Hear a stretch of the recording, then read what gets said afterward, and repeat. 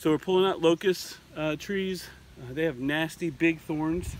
And um, so just to show you, this is a tiny, a tiny one. Um, luckily it missed my, my thumb, just barely missed it. But went right through, the, I mean, these are hardy. I've pulled out regular briars and they don't penetrate this leather. That went right straight through, no problem at all. And that's a small one. They get this long.